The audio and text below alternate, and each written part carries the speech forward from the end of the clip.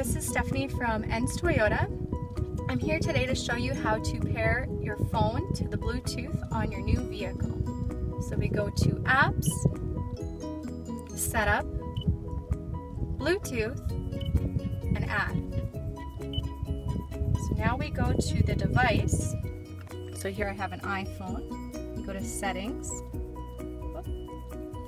and Bluetooth, even though it's on. If it's not on, you just turn it on right here.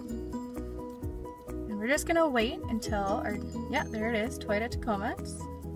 Tap on that. And it will say Bluetooth pairing was successful.